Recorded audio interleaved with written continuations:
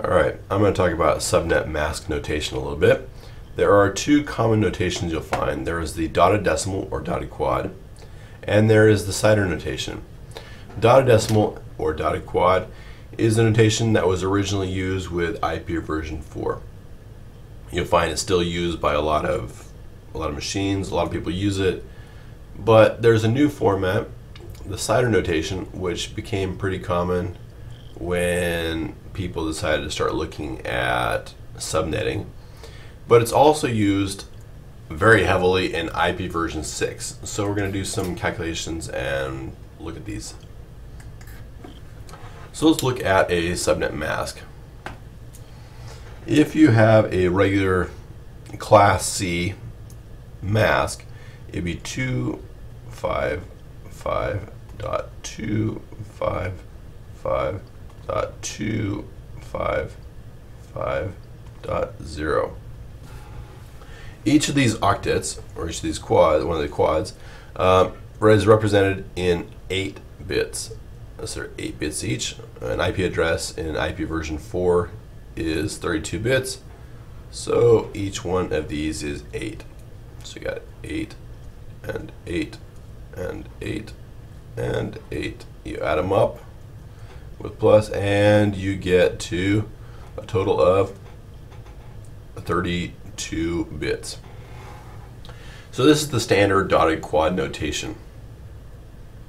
Now, when we use CIDR notation, what we're doing is we're trying to identify how many bits from this mask right here are ones because we have a series of ones followed by zeros. So if we convert this to binary, 255 is 8 and 1s. So we go 1, 2, 3, 4, 5, 6, 7, 8. A little dot. Then we have 8 more ones. 1, 2, 3, 4, 5, 6, 7, 8. We have a dot. We have 8 more ones. 1, 2, 3, 4, 5, 6, 7, 8. The 0 converts to 8 zeros. So we have 0, 0, 0, 0, 0, 0, 0, 0. So if we want to convert this to CIDR notation, all we need to do is count up the number of ones and see how many I have. So we got 1, 2, 3, 4, 5, 6, 7, 8, 9, 10, 11, 12, 13, 14, 15, 16, 17, 18, 19, 20, 21, 22, 23, 24. So this becomes a slash 24 address. Now masks are always followed by a series of ones, or a series of ones followed by a series of zeros. You never have zeros mixed in with the ones or ones mixed in with the zeros. It's always ones, then zeros. It's possible you could have all ones or all zeros, in which case you won't have anything followed by the other one. But usually you have a series of ones followed by a series of zeros. But you never have them mixed. And this makes it easy to do this CIDR notation. So what are the numbers you can see? Well, we see a 255 and we see a 0 as possible numbers in the dotted quad. But what other options do we have? If we have like four ones and four zeros, then what does that make? So let's look at what, what possible numbers we can have in our dotted quad or dotted decimal number. So the numbers you can see, you can either have 0, 128, 192, 224, 240, 248, 252, 254, and 255. So there are a total of nine different numbers you can have. And what they are in binary representations, you can see wh why I use these numbers, is you have eight zeros right here, which make out 0, 2, 3, 4, 5, 6, 7, 8. This one, 128, is a 1 followed by 7 zeros. 1, 2, 3, 4, 5, 6, 7. This is two ones followed by six zeros. This one is three ones, followed by five zeros. This one is four ones, followed by four zeros. So you can see how this is going, right? As you can see, as you can guess, this is a five ones, followed by three zeros. This would be six ones, followed by two zeros, seven ones, followed by a zero, and this one is eight ones, which is the one we had there earlier.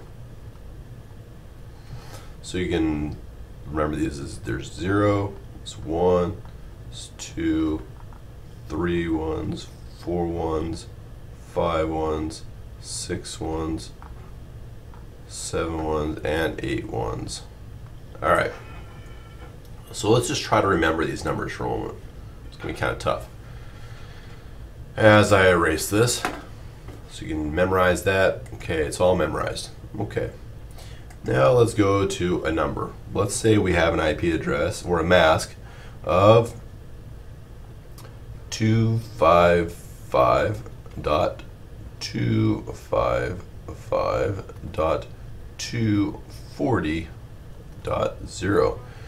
Now I figure out, well, what is this in CIDR notation?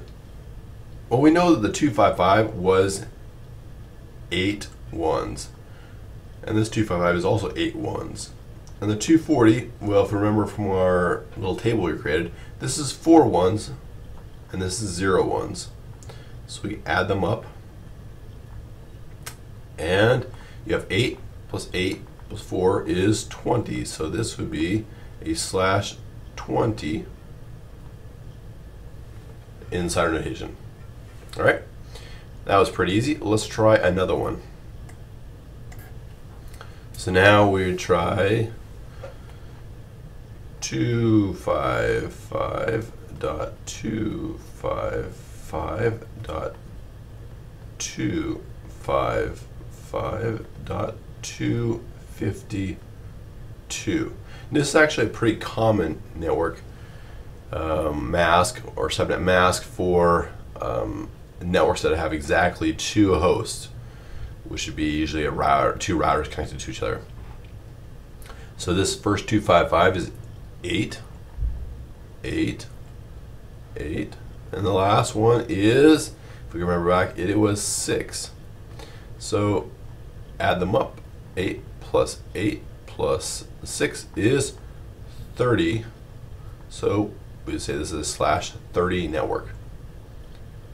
All right, so that's nice.